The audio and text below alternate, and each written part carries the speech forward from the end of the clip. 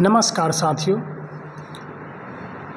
मैं गौतम कुमार, आप सभी के लिए फिर से आज विकास लाइफ केयर लिमिटेड पे चर्चा करने वाला हूँ। एक खास न्यूज़ के साथ में। उससे पहले उम्मीद करता हूँ कि आप सभी अपने एटीट्यूड के अनुसार अपनी ज़िंदगी को खुशहाल पूर्वक जी रहे हैं और अपने व्यवहार को इस प्रकार बनाए रखे हैं ताकि किसी भी जीव जंतु को कोई भी दिक्कत, परेशानी नहीं हो रही है। तो चलते हैं दोस्तों। विकास लाइफ केयर लिमिटेड जिसका कि 28 जून को क्लोजिंग प्राइस पाँच रुपया उनचास पैसा, जो कि स्क्रीनर डॉट इन वेबसाइट का नाम है, उस पर शो हो रहा है। मार्केट कैप नौ सौ चौंतीस करोड़ का करंट प्राइस पाँच रुपया उनचास पैसा, बावन वीक का हाई लो आठ रुपया और तीन रुपया। स्टॉक पी पचास दशमलव पाँच का आर ओ सी पाँच दशमलव आठ छः परसेंट आर ओ ई चार दशमलव चार छः परसेंट। बुक वैल्यू तीन रुपया दो पैसा। डिविडेंड कुछ भी नहीं है, यानी ज़ीरो ज़ीरो है। फेस वैल्यू एक रुपया।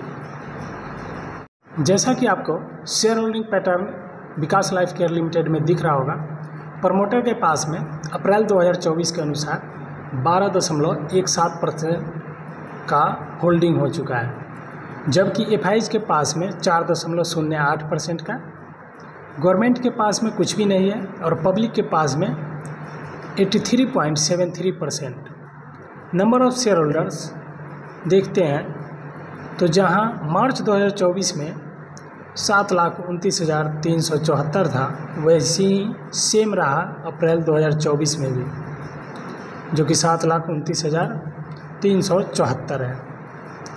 बट सितंबर 2021 में बहुत कम था नंबर ऑफ़ शेयर होल्डर्स जो कि दो लाख चौवन हज़ार छः सौ अट्ठासी काफ़ी अच्छा इंक्रीज हुआ है इसमें नंबर ऑफ़ शेयर होल्डर्स यानी कि इन्वेस्टरों का रुझान इस शेयर के प्रति काफ़ी अच्छा देखने को मिला है। हाँ तो दोस्तों, जिस न्यूज़ का हम लोगों को काफ़ी समय से इंतज़ार था, वो न्यूज़ आ चुका है आपके स्क्रीन पर।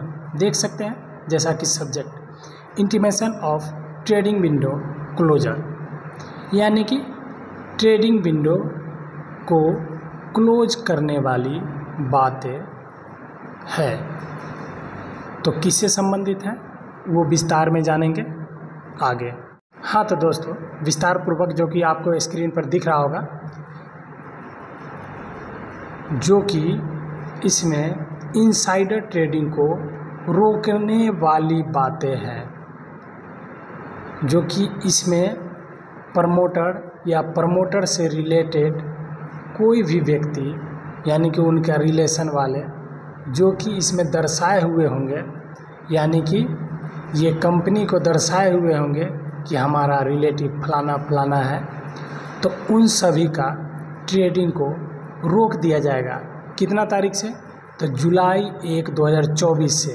कब तक के लिए?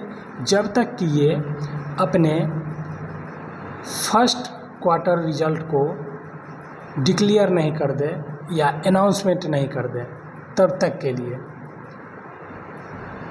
यानी कि उसके बाद में भी 48 घंटा तक के लिए। यानी कि एक लाइन में अगर समझा जाए तो जुलाई एक 2024 से लेकर के अनाउंसमेंट यानी कि क्वार्टरली रिज़ल्ट का डिक्लेयर के 48 घंटे बाद तक इनसाइडर ट्रेडिंग को रोका जाना है। तो इससे संबंधित न्यूज़ है, जो कि काफ़ी अच्छा है। ये प्रत्येक शेयरों में ऐसा न्यूज़ आता है। क्वार्टर रिज़ल्ट यानी कि क्वार्टर की समाप्ति पे। तो फ़र्स्ट क्वार्टर जून 2024 का, जो कि 30 जून 2024 को समाप्त होने वाला है। उसी से संबंधित है न्यूज़। तो काफ़ी अच्छा न्यूज़ है। मार्च 2024 के अनुसार जो रिज़ल्ट शो हुआ है, वो दिसंबर 2023 की अपेक्षा काफ़ी अच्छा रहा। यानी कि अर्निंग पर शेयर, जहाँ पर दिसंबर 2023 में दो पैसा था माइनस में, वहीं पे मार्च 2024 में एक पैसा माइनस में रहा।